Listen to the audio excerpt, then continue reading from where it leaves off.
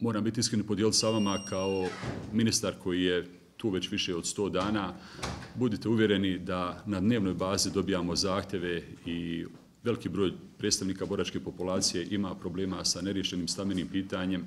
Ja odgovorno tvrdim da u ovom momentu budžet ovoga ministarstva je i dva puta veći od onog koji imamo. Nisam siguran da li bi bio dovoljan da riješimo sve te probleme.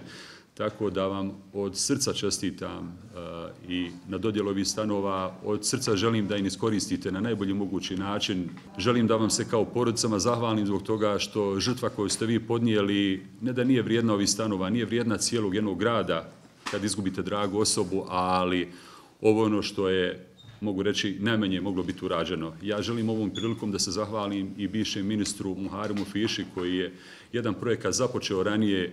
Nisam osoba koja se voli kititi tuđim perijem, ovo nije posao samo jednog ministra, ovo je posao cijelog ministarstva, cijelog jednog tima ljudi i od srca dajemo podršku ljudima koji dolaze iz ove populacije s koje vi dolazite. U narodnom periodu mi ćemo nastojati da idemo u rješavanje i onih ostalih koji su na spisku u ovom momentu. Mi već imamo otprilike spisak za naredne četiri godine u kojem pravcu idemo kada je u pitanju rješavanje stambenog problema.